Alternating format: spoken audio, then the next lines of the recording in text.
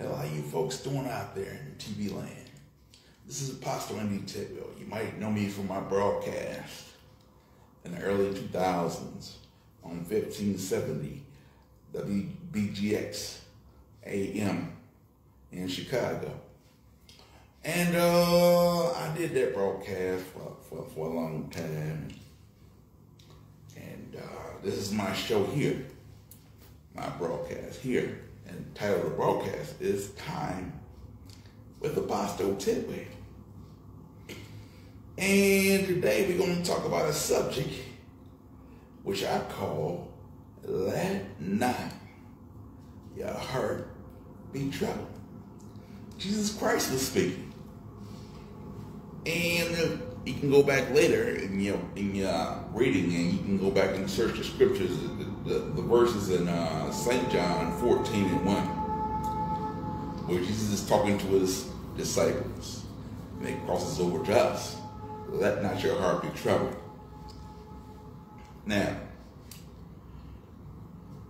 when God created Adam, man, and we all come from Adam.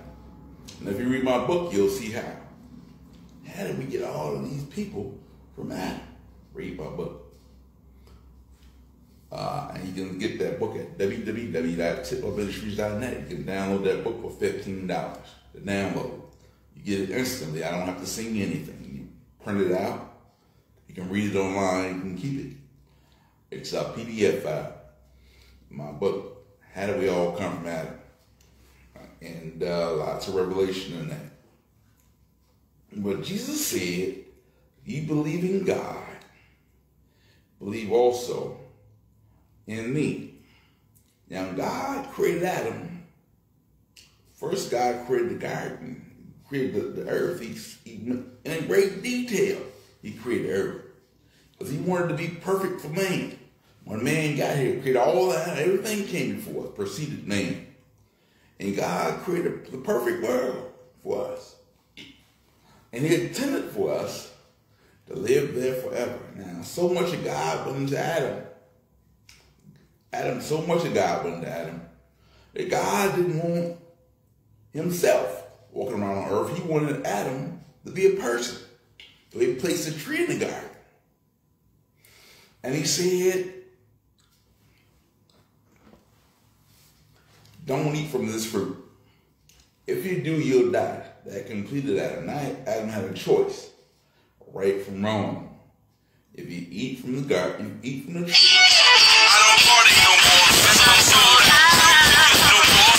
Cause I'm Excuse me. If you eat from the tree, you'll die. That completed Adam. He had a choice. He wasn't just God's puppet. And uh, we'll read that in Genesis 2.15, how God placed him in the garden. When Eve was introduced, Adam chose Eve over God, what God told him, and he ate the fruit. He was disobedient. You can read that in Genesis 2.17, what happened right there, when Adam failed. And when Adam failed, God had to change his plan. Adam wasn't to live there forever. Changed his plan. He got another plan lined up. This is what happens if Adam eats, eats the apple. God had another plan. Ah, uh, so Adam failed. And we can read that in Genesis 3.19. You can go back in and read it. And we're not to read that today. But Adam failed. And his curse was, you chose Eve, now you have to take care of it. I'm no longer to take care of both of y'all. It was welfare all the way back then. I'm not going to take care of both of y'all. You chose her, now you got to take care of her.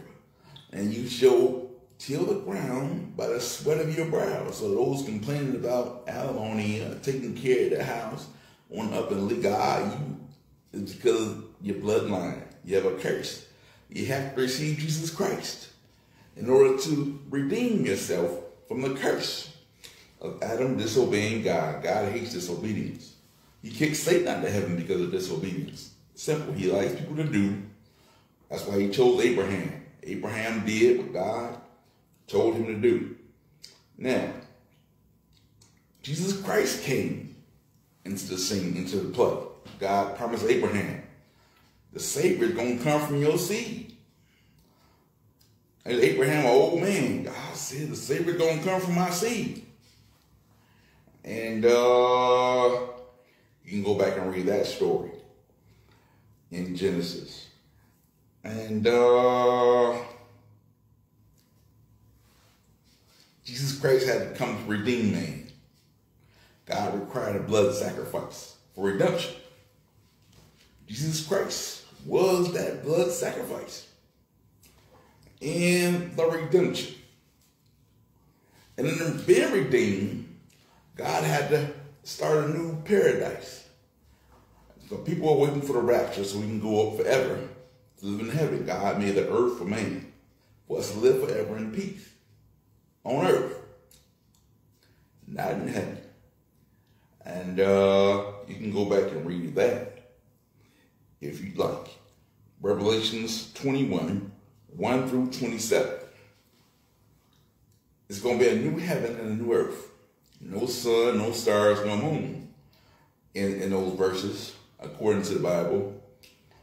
And we will be, it'll be lit by God Himself. God is the light. God's going to light the, the, the earth, planet, the New Jerusalem. God's going to light it. And uh, we won't need no need for light or anything like that when we get to the New Jerusalem. And Jesus Christ will be with us. There'll be no more church according to the Bible. If you read through those scriptures and that, once again, I'll read that again because people will say, well, he's making stuff up. He got his own doctrine. No, it's right here in Revelations 21, 1 through 27.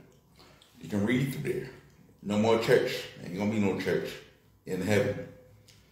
And uh, we will be in the garden, in, on earth, in a New Jerusalem, forever, with Jesus and God.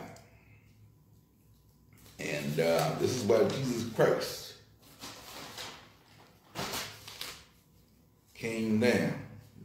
His, his intention is going to be fulfilled in the uh, New Jerusalem, which will come down in those verses.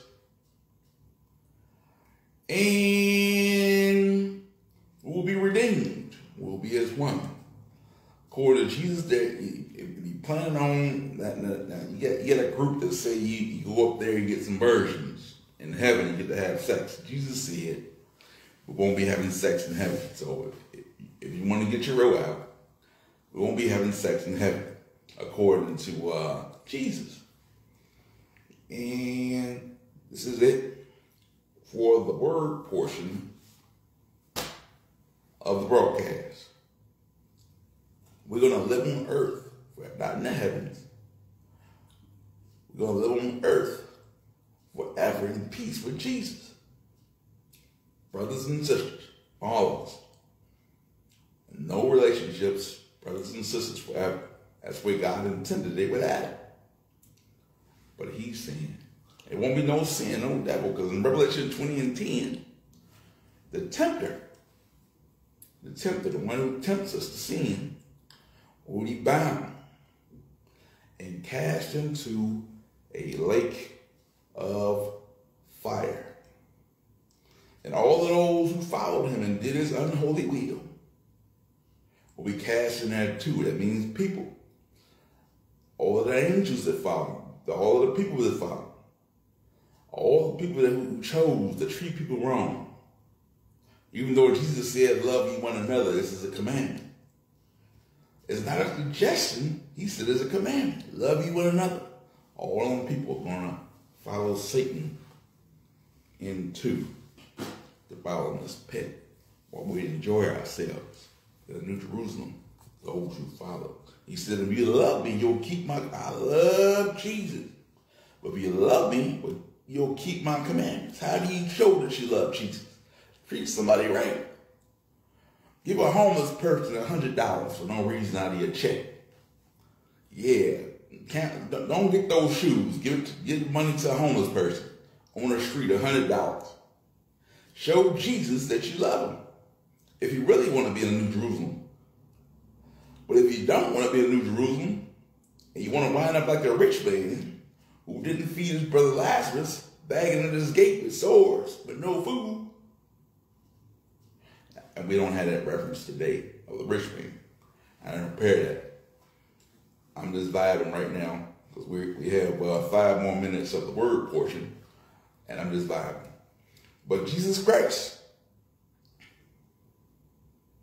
paved the way. He said, love you one another. You don't, you can't be up there if you don't love people. I don't care if you speak in tongues, run around the church and give prophecies. If you don't love people, you ain't going. You're to be with people. And it ain't to be no, ain't to be no devil to tempt you. He's to be bound and cast into a bottomless pit forever to be tormented by the tormentors. And this is the end of the word portion. We're to go into some music now. This first song I'm about to do is called I Ain't Ever Going Back. I got this beat in my studio when I was in Illinois. I was in Calumet Park. And I had a, uh, a, a, a guy by the name of Brody Styles. And he came into my studio and I said, do you have your own music? Would you like to make it, you have a keyboard? He said, I, I don't have, I said, I got a track. So he took the track, uploaded it. And he brought with him his friends. And they were all rapping hip hop and all that kind of stuff. About two weeks later, Brody Styles was killed. He was stabbed to death. But he left track behind in my studio of him, I, uh, of him and his friends. Now I went and made copies of this, the songs they did, and I gave it to all his friends. I gave it to all his friends. And that way they can have a copy. So I get my money back from the CDs that I bought. I charged a dollar. So I made some of the money back. About $10, which covered the cost of the CD. And 10 people bought a copy of uh, Brody Styles. Brody Styles left this track behind. So I said, I want to do a spin on it. We're going to talk about Jesus in this song. And here it is. I ain't ever going back.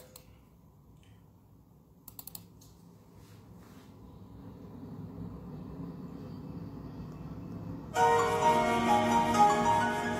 yeah, sing, yeah. Yeah, Jesus Christ. Yeah, yeah. Y'all be making me laugh. I'll be taking path. Yeah, I carry the staff, but on Jesus' behalf. My beat so cold, they be feeling it dry. Don't smoke bud, that's a thing of the past. Smash the grass, teach the past, make the dash. That's the grass. Yeah, I did a little sin. Christ let me back in. I ain't never going back. Cause I thank him. I did a little sin. Christ let me back in. I ain't never going back. Cause I thank him. Let the love flow. Behold, Jesus at the door. This is a thousand years and it's still a go. Better than Cheetos, Doritos, or Cappuccinos, or new clothes, or the beauty bows. Do a little sin. Christ let me back in. I ain't never going back. Cause I thank him. I did a little sin. Christ let me back in. I ain't never going back. Cause I thank him.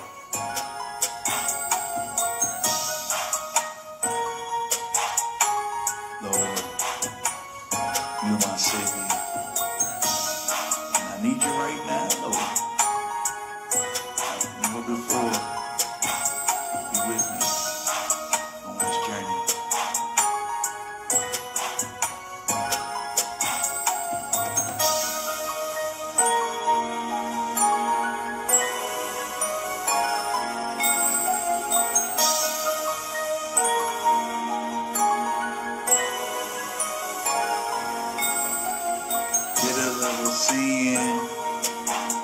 First, let me back in. I ain't never going back.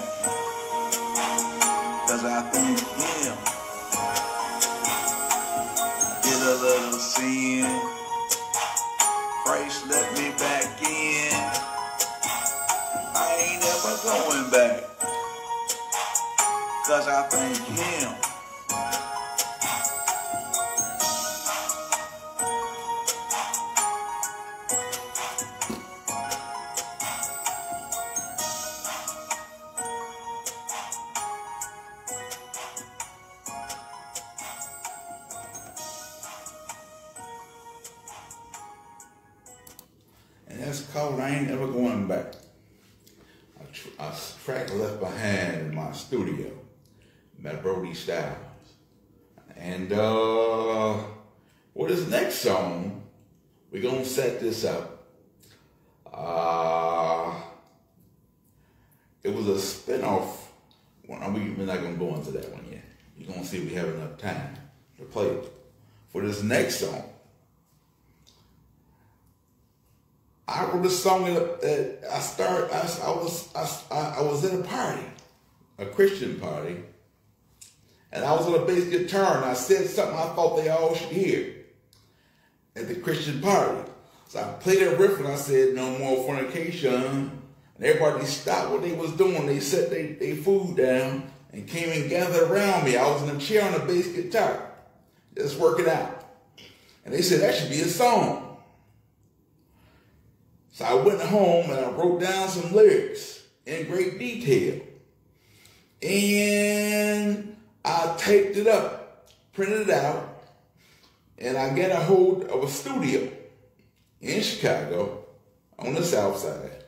And when I got to the studio, the engineer, I was sitting there and I was humming and I was at a bass line recorded on a handheld recorder.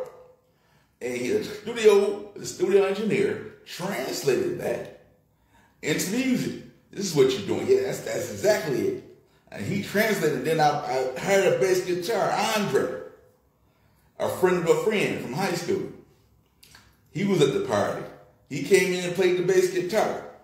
And then I had some other people come in, was on the track. Here it goes. No more fornication. 20 years ago, I wrote this.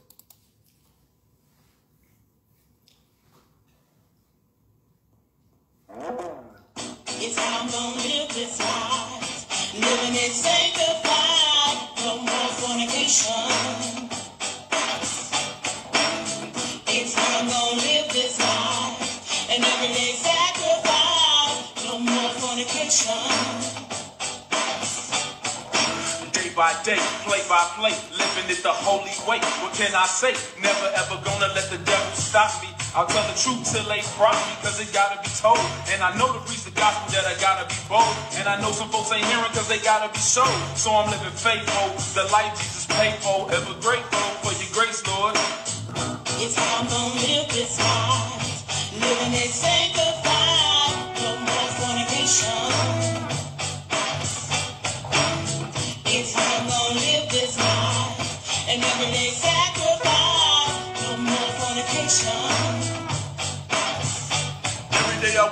Give him praise for yet another day. To get it right, salvation's not a destination, it's a plight. To make it, it is a fight. The righteous purchase simple urges, Jesus purchased from my sins and from this thing called loose behavior. You are Savior, so I'm gonna keep crying on my knees. Because I gotta be heard and following the scriptures that you gave in your word. It's I'm gonna live this life. Living it sanctified.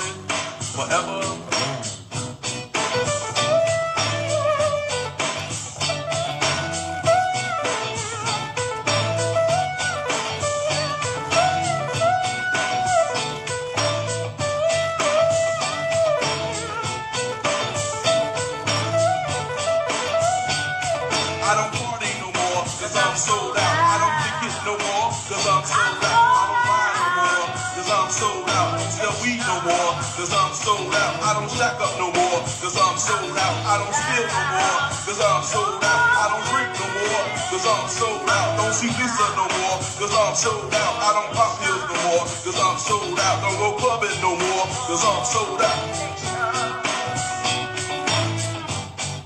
Cause I'm sold out.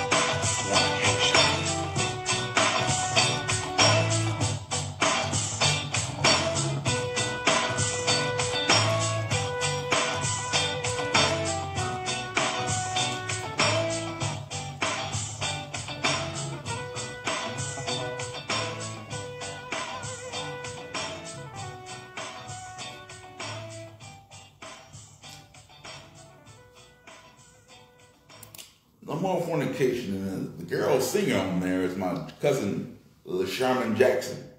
We called her Cheeky. For a reason I'm not going to talk to because this is a Christian broadcast. We call her Cheeky.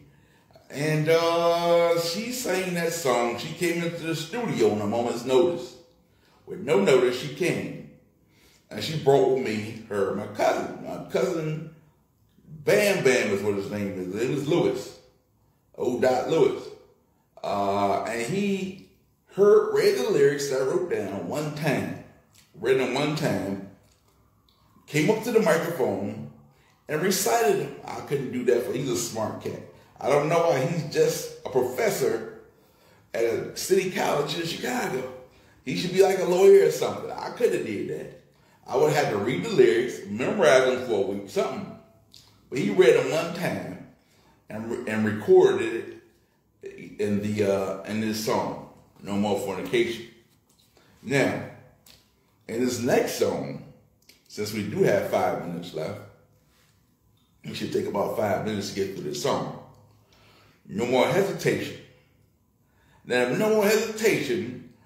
Uh, that came from a brother in Nashville who I spoke to, and I said, "No more fornication." He said, "That's not gonna play in America."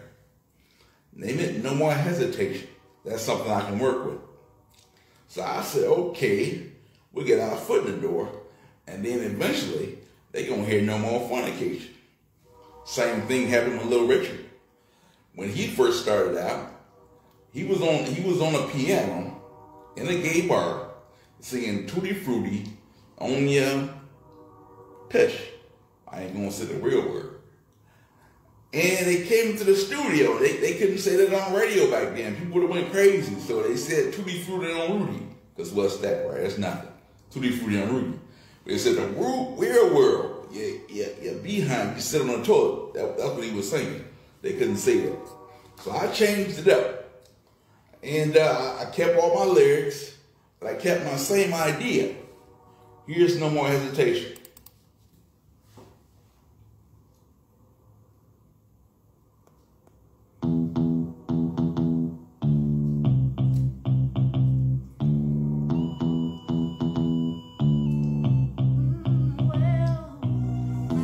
Gon' live this life, living it sanctified, no more hesitation. The time gon' live this life, and everyday sacrifice, no more hesitation. Day by day, play by play, living it the holy way. What can I say? Never ever gonna let the devil stop me. I tell the truth till they prop me, cause it's gotta be told. And I know to preach the gospel that I gotta be bold. And I know some folk ain't in it cause they gotta be showed. So I'm living faithful. The life Jesus paid for. Ever grateful for your grace, Lord. I'm gonna live this life, living it sanctified, no more hesitation. I'm gonna live this life, and everything sacrifice, no more hesitation. Every day I wake up and give him praise for another day. To get it right, salvation's not a destination, it's a play. To make it is a fight. The righteous versus simple urges, Jesus purges from my sins. And from this thing called low behavior, you are savior, so I'm gonna keep crying on my knees because I gotta be heard following the scriptures that you gave in your word.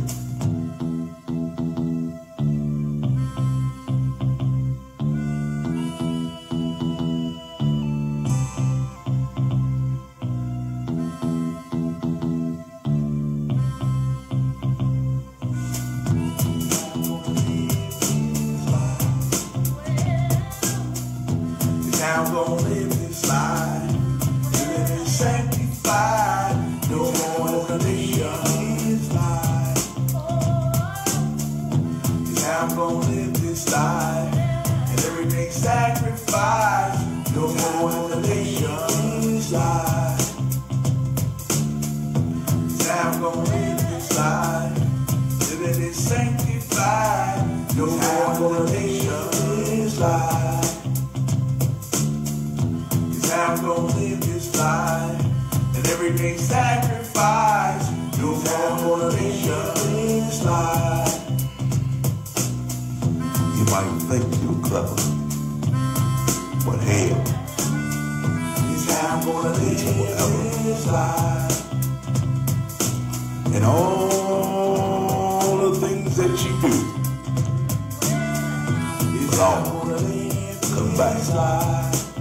on you.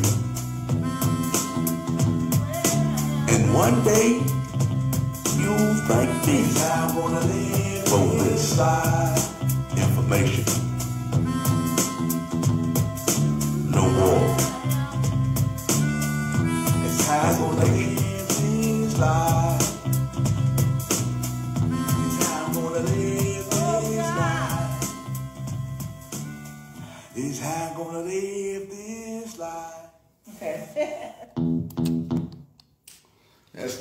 The girl singer is Kimberly Reese, a girl from my old neighborhood in Princeton Park in Chicago. And uh, she definitely came a long ways to my studio in Hammond, to record that song with me. And I used some of her vocals. And uh, I did a cut and paste thing. And she's the girl singer in the background. Uh, she came a long way with me. She came a long ways to, to, to record that part. And uh, we definitely want to go onto the website and uh, buy a copy of that so that uh, we can get her some money. I bought her a bag of candy.